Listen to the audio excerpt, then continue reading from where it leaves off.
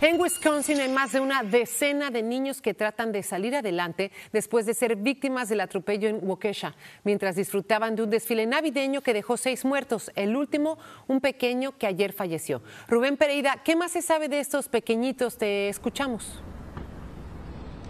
¿Qué tal? Felicidad, te saludo desde un parque aquí en el centro de Waukesha. Como puedes observar, aquí se instaló un altar improvisado honrando a las víctimas de esta tragedia. Es conmovedor no solo ver las flores, las veladoras, sino también los ositos de peluche honrando a las víctimas infantiles. Aquí puedes observar también seis cruces que se instalaron eh, representando a las cinco víctimas adultos y también a la reciente víctima, un niño de ocho años de edad de nombre Jackson Sparks.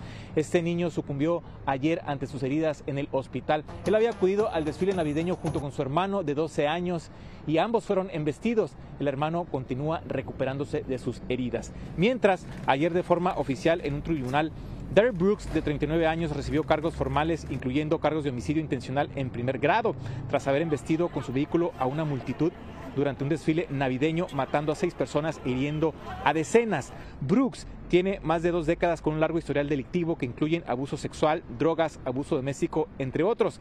Apenas el pasado 11 de noviembre quedó libre con una fianza de mil dólares por haber golpeado y atropellado a la madre de su hijo.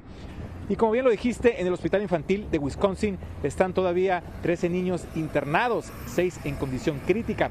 Hablamos con Emily, de 7 años, quien acudió al desfile navideño. Ella se salvó de ser arrollada, pero desafortunadamente algunos de sus amiguitos sí fueron atropellados.